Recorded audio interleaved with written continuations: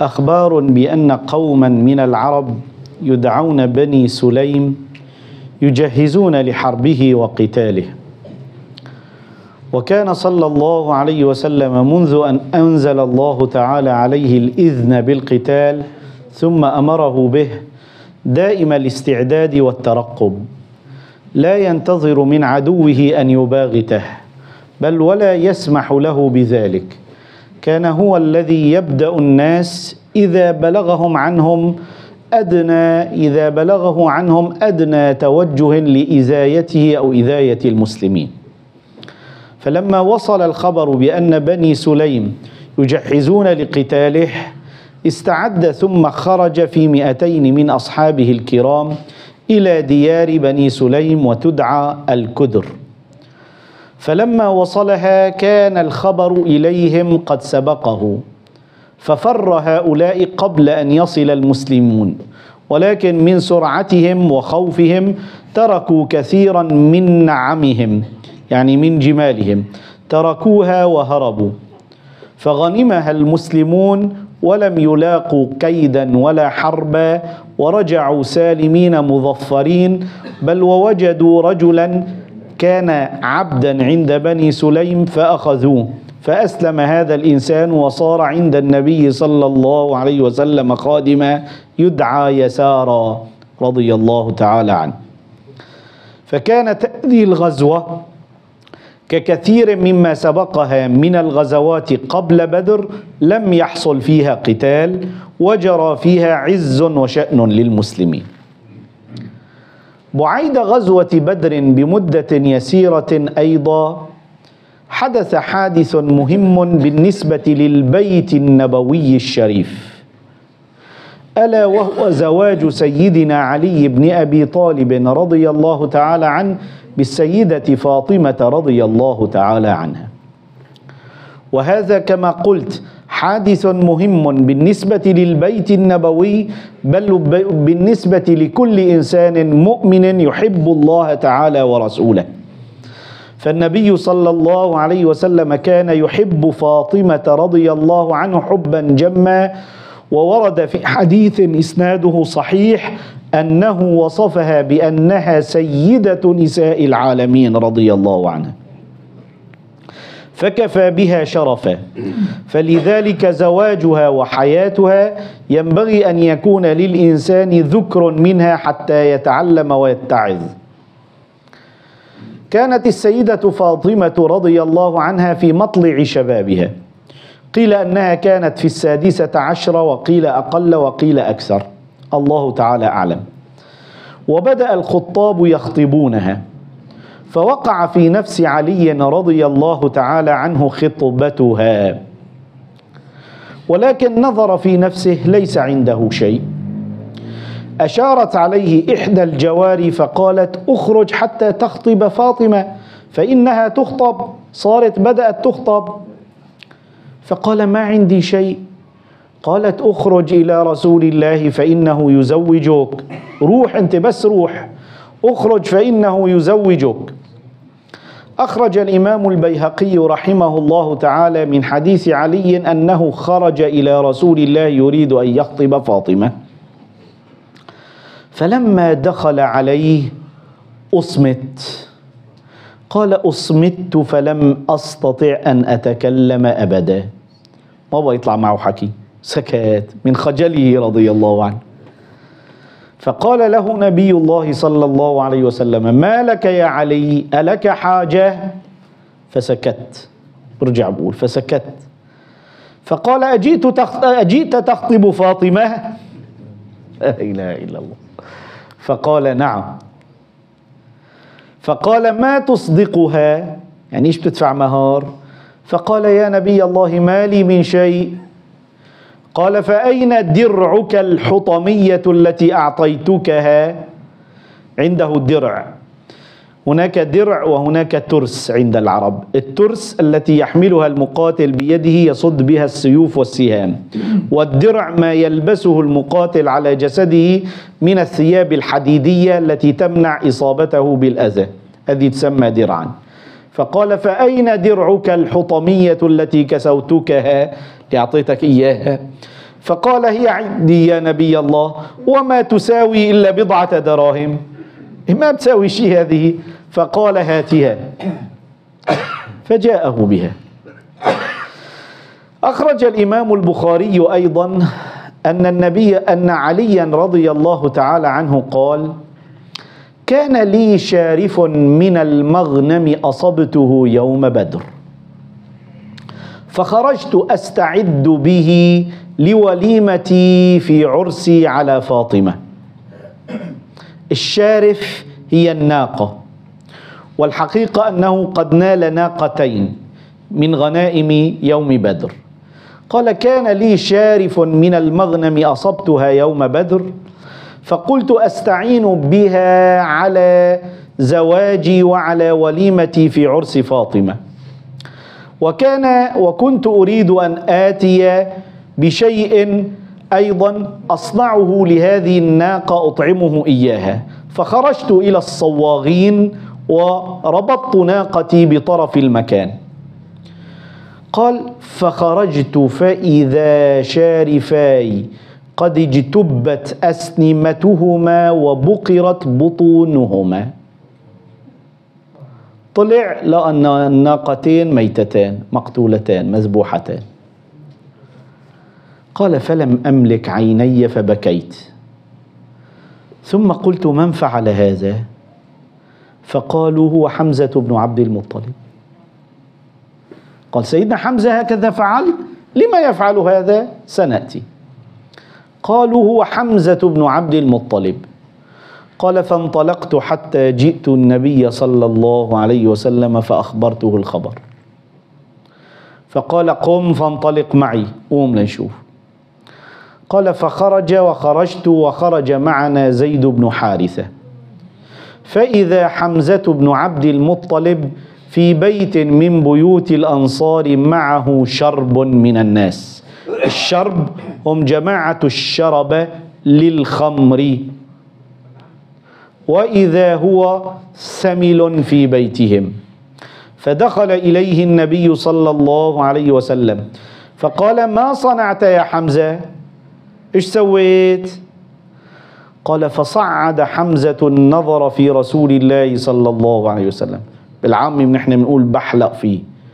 فصعد النظر فيه ثم طأطأ ثم صعد النظر فيه ثم طأطأ وقد احمرت عيناه. قال من الغضب لا من الشرب. ثم قال وهل أنتم إلا عبيد لأبي؟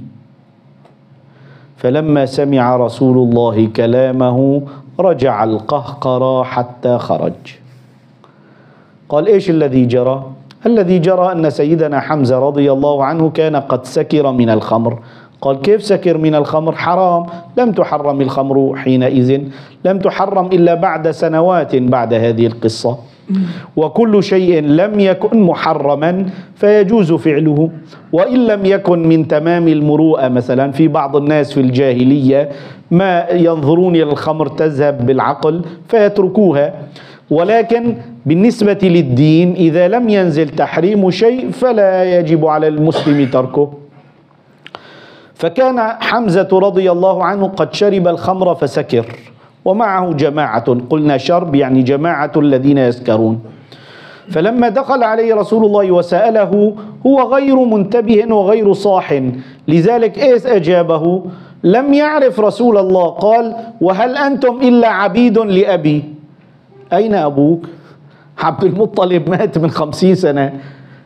أي عبيد لأبيك؟ أين هم ولكنه لم يدري لم يعرف شيئا. وقلنا أنه ينظر. يعني ينظر ولا يعرف. دليل عن أن الخمر أخذت بعقله سبحان الله العظيم. فلم يدر ما يقول. قال الحافظ ابن حجر وفي رواية ابن أبي شيبة أن النبي صلى الله عليه وسلم أغرم حمزة بعد هذا ثمن الناقتين. بعد ما صحي وانتبه وكذا قال له تدفع لعلي ثمن الناقتين اللذين ذبحتهما. اللتين ذبحتهما. الذي جرى لماذا فعل هذا أصلا؟ كانت هناك جارية تسقيهم الخمر. فلما رأت حمزة وهو وهي تعرف أنه صاحب فتوة وشهامة وكرم أرادت أن تأكل من اللحم فنظرت فأنشدته بيتا من الشعر فقالت ألا يا حمز للشرف النواء وهن معقلات بالفناء. فلما سمع حمزة رضي الله عنه هذا المديح قام سريعا فذبح الناقتين وأمر بأن يؤكل منهما. قال إيش تقول هذه الجارية؟ ألا يا حمز؟ حمز ترخيم هو حمزة. من يعرف العربية اسمه هذا ترخيم يعني بيحذف آخر حرف من الاسم. ألا يا حمز للشرف النواء الشرف جمع شارف وهي الناقة والنواء السمينة. يعني أنت يا حمز أنت الذي تذبح النوق الكبيرة وتطعم الفقراء منها. تشجعه على ذلك. ألا يا حمز للشرف النواء؟ وهن معقلات بالفناء. مربوطات قدام البيت قريبات جدا. بس قوم اذبح لنا إياهم عشان ناكل لحمة. وسيدنا حمزة كما قلنا قد أصابه شيء من السكر فغاب لم يعرف بالضبط ما يصنع فقام فذبح الناقتين. أغرم بثمنهما فيما بعد رضي الله تعالى عنه.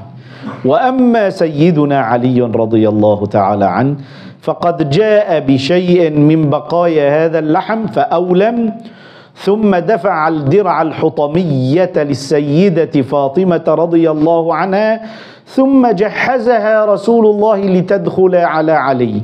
بما جهزها؟ كما يروي أهل العلم بخميلة ووسادة وقربة ماء. خميلة نعم جهازها خميلة يعني مثل لحاف غطاء. ووسادة اللي بننام عليها مخدة. وقربة ماء وعاء يوضع فيه الماء مع وعاء يوضع فيه الطعام. هذا جهاز السيدة فاطمة رضي الله عنها سيدة النساء رضي الله تعالى عنها. حسبي الله مما يجري في هذه الأزمنة العجيبة مما نسمع. على كل البلاء الذي نسمعه وحل بالناس حل بلاء كلنا ندريه وللأسف معظمنا يشكوه ليل نهار. يشكو البلاء. على كل ما حل إذا جاء الخاطب بالحلال يطلب ابنة أي إنسان إلا ما رحم ربي تسمع عجبا من القول. فينفر كثير من الناس ويلجأ بعض الشبان إلى الحرام والعياذ بالله تعالى. فيقولون وأيسر وسيلة من الحلال. بهذا جحزت السيدة فاطمة وعلى هذا أدخلت بيت زوجيتها مع الفاضل الكريم رابع العشرة المبشرين سيدنا علي بن أبي طالب رضي الله تعالى عنه. فيا أيها الناس اتقوا الله وبلغوا الناس ممن حولكم أن يتقوا الله في مسائل المهور والجهاز وتكاليف الأعراس فانها قد أثقلت كاهل الشباب وجعلتهم ينفرون من الحلال ويتوجهون إلى الحرام عياذا بالله تعالى. فتم زواجها من سيدنا علي رضي الله تعالى عنه وأنجبت له الحسن والحسين. هذان نعرفهما جميعا. وأما كثير منا فلا يعرف أنها أنجبت له أيضا أم كلثوم وزينب. أم كلثوم وزينب. أولاد السيدة فاطمة من سيدنا علي ابنتان. قال أم كلثوم وزينب سمعنا بهذين الاسمين. هما أختاها. فسمت سمت بناتها على اسمي أختيها محبة بأختيها رضي الله عنها. سمت بناتها على اسمي على اسماء أختيها رضي الله عنها أم كلثوم وزينب. وولدت أيضا رضي الله عنها في آخر حياتها محسنا لكنه لم يعش إلا قليلا. وهذا محسن يتهم في قلبه مرض ان أنه بعد الوفاة النبوية جاء أبو بكر وعمر رضي الله عنهما في قصة لعل أكثركم يسمع بها لأول مرة أو بعضكم سمع بها وهي من أكذب الكلام وأخبثه وأنتنه. قال جاءوا إلى منزل السيدة فاطمة لأنها طلبت من أبي بكر في أيام خلافته بعد الوفاة النبوية ميراثها من رسول الله فاقتحم عليها هو وعمر فضربها في باب بيتها فأسقطت حملها محسنة الله أكبر عليه القصة أعوذ بالله من غضب الله. أبو بكر رضي الله تعالى عنه بعد الوفاة النبوية جاءت السيدة فاطمة تقول له أريد ميراثي من رسول الله. يعني من أبي. فقال يا فاطمة والله لصلتكم أحب إلي من صلة أولادي. إذا أكرمكم وأوصلكم وأعطيكم حقوقكم هذا مقدم عندي على صلة أولادي. ولكني سمعت أباك يقول ما تركناه صدقة. نحن معاشر الأنبياء لا نورث. فهي لا هي ولا غيرها. طبعا ما في غيرها أصلا يورث. ليش ما في غيرها يورث؟ لأنه أولاد سيدنا النبي ذكورا وإناثا ماتوا. لم يبقى غيرها رضي الله عنه. فقال سمعت أباك يقول ما تركناه صدقة. إن معاشر معاشر الأنبياء لا نورث سيدة فاطمة بقيت فترة متضايقة لم تستوعب الكلام سريعا ثم فهمته وارتاحت. نسج هؤلاء الظلمة الضالون المنحرفون قصة خيالية مكذوبة ليشوهوا بها صورة سيدنا أبي بكر وعمر ويظنوا بذلك أنهم يدعون مظلومية لآل البيت رضي الله تعالى عنهم وهي السيدة فاطمة. وأقول فضلا عن كون هذه القصة كاذبة ومختلقة ومن أسوأ ما يكون. أين كان علي رضي الله عنه؟ لماذا لم يدافع عن زوجته في هذه الحادثة المنتنة؟ أليس هو برأينا جميعا كل المسلمين؟ على مختلف مختلف طوائفهم وآرائهم. كلنا نقول علي رضي الله عنه زينة الأبطال. طيب هذا البطل المغوار لماذا لم يدافع عن زوجته لما ضربت؟ أعوذ بالله من هي القصة. لعنة الله على الكاذبين. سبحان الله العظيم. فيروج مثل هذا الكلام أحيانا. بعض السذج يسمع به أعوذ بالله هيك صار ما في قصص أصلا. أصلا لا توجد هذه القصة أصلا. ولدت محسنا أنا تعمدت أن أذكر أسماء أولادها لأقول نعم لها ولد اسمه محسن رضي الله عنه لأنه توفي طفلا صغيرا رضيعا كما توفي إخوتها هي رضي الله عنها. إبراهيم وعبد الله والقاسم إخوتها أولاد رسول الله كلهم توفوا صغارا رضعا وهكذا توفي ولدها رضيعا رضي الله تعالى عنها. فهذا شأن الإنسان ينبغي له الحذر من كل ما يروج أن يدقق فيما يسمع أو ينقل إليه حتى يكون على بينة من أمره. اللهم ارزقنا محبة نبيك صلى الله عليه وسلم وآل بيته وأصحابه الكرام. والحمد لله تعالى رب العالمين.